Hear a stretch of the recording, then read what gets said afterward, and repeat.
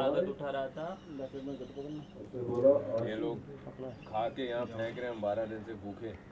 इन लोगों का ये भी उठाना पड़ेगा जुट्ठन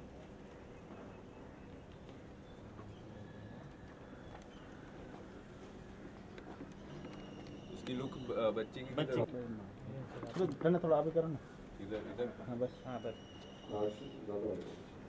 यहाँ पे सफाई- मन तो कर रहा है तुम दोनों तुम लोगों के अंदर जो कचरा है उसका भी सफ़ाई कर रहे हैं झाड़ू से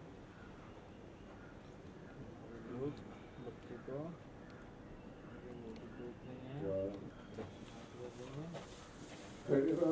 हाँ।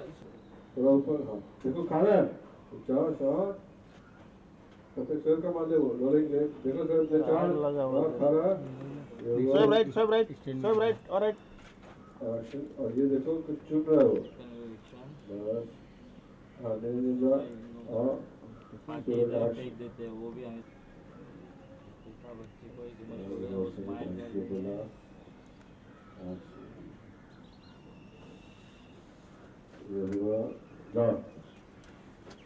जा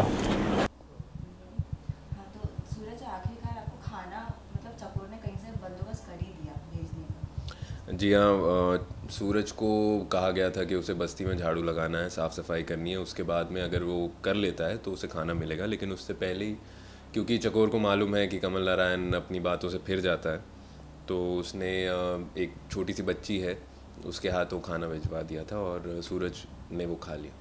लेकिन सूरज को ये मौका कैसे मिला खाना खाने का जबकि कमल नारायण के आदमी साथ ही? जी हाँ वो वहाँ पे थे पहरादारी कर रहे थे लेकिन चकोर और वो बच्ची कुछ और बच्चों के साथ मिलकर कुछ ऐसा करते हैं जिसकी वजह से उनका ध्यान कहीं और चला जाता है। वो भाग कर कहीं देखने जाते हैं और वो बच्ची उसे लेकर कहीं कोने में बिठा कर खिला देती है।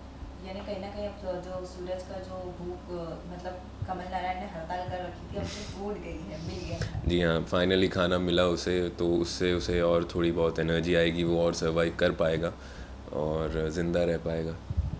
Thank you thank you